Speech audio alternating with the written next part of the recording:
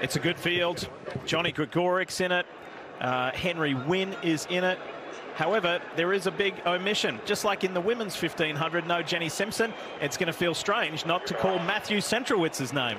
Absolutely. You know, there's a couple big stars out. Also, Cole Hocker, who was sixth at the Olympic Games last year, didn't make it through the heats. And so that really opens it up for a new experience, some fresh faces to come up, some new people to step up into the light. And it'll be interesting to see what we have here. Cooper Teare is sort of boxed in there, and he talked about how he's not used to 1500 meter tactics. He really only ran them sort of in a time trial effort during the indoor season where he would run extremely fast. But he doesn't have a lot of experience here, and he's been learning strategy as he goes through the rounds. And here he is in the final, boxed in a bit there. Jonathan Davis takes the lead early on in this BD men's 1500 metre final. Just getting back to the Rio gold medalist, uh, Centro, Matthew Centrowitz. He had surgery on his knee recently. He'll be out for a few months. Um, so we wish you a speedy recovery, Centro. Look forward to seeing you back on the track. Eric Holt, all in yellow there, sits in a, uh, a strong position the top four in this early stage. Yared Nuguse on the far left there in the white top, the only Olympian in this field. You know, they're also running slow. This is a woman, this is a four minute pace that they just came through on. These are women's times, and I think it's a little hot. These are people who aren't necessarily used to leading races, and so we're seeing, seeing strategy really come into play here. But just like we saw in the women's race, I do believe at some point we're going to see someone turn on the burners and say, you know what, we got to separate this pack. Right now we see Reed Brown from the University of Oregon leading. Then Cooper Teare, who won the 5,000 in the 2021 NCAA championships. And he's been running so fast this year. He really has been the fastest 1500 meter in the U.S. But he, again, he doesn't have a lot of experience in this situation right now where you have to match moves and see what's happening. Yared Nuguse has put himself in a good position. Sits third at the moment with two laps to go. So he's put himself in that spot. And he said he felt like he was in a better position.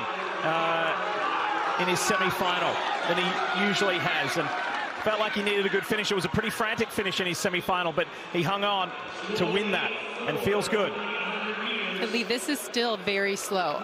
We are going to see something erupt very, very soon because these men can't all come down the, the finish line with a, in a lap all together. So we're seeing people kind of look. You can even see their eyes shifting around, waiting. Who's going to go? Who's going to take it? Might be Sam Prakel.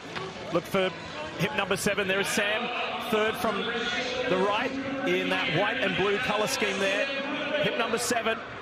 And he feels good at the moment as well. He was a finalist in the 1500 at last year's Olympic trials. So Prakel may have something special here as they're coming to the bell lap. They're coming to the bell, and this is messy. You can see the jostling, you can see the pushing. This is when it gets very, very dangerous because they're all about to flip a switch here and really go for it in the last quarter. And they all have to be wary. They have to make sure they don't knock anyone else down. Now we see Grigor come to the outside as well.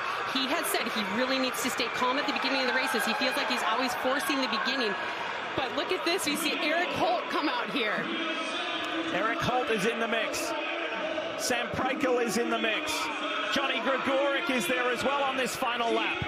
Sam Prakel went to the World Indoors this year. That was an experience he had never had, and he gained so much confidence from being there. And he's leading this charge now. But I got to tell you, seeing Eric Holt here, this could be a huge story. His dad said, if you're not going to get a real job, you better run fast. Run fast. You're going to make that World Championship level as well, and then streaking out the outside as well. Cooper Teare, listen to the cheers. They know that he's run here before. Cooper Teare, terrific. Jonathan Davis, a strong finish. 345.85. Cooper Teare wins the BD Men's 1500 and is a national champion. Well, that answers a lot of questions. People said they didn't know. Could Cooper Teare run a strategic race? And he just did to become the national champion.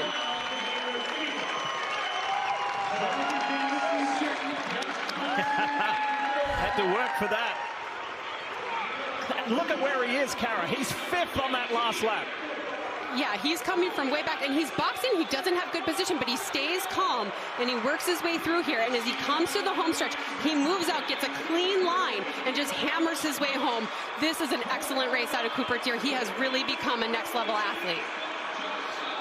What about that finish from Jonathan Davis as well in red, center of your screen? He led on the opening lap and surged to get second on the final lap ahead of Josh Thompson. However, at the moment, Davis and Thompson don't have the World Championship standard, so they're going to have to wait. But celebration time for Cooper here. Great race out of him. He is entered in the 5,000 tomorrow. We'll see if he decides to show up to put a cherry on the top or if he takes this win and heads his way to the World Championships. By the way, that World Championship standard is 3.35. You see the winning time there of 3.45, but Teare does have that World Champs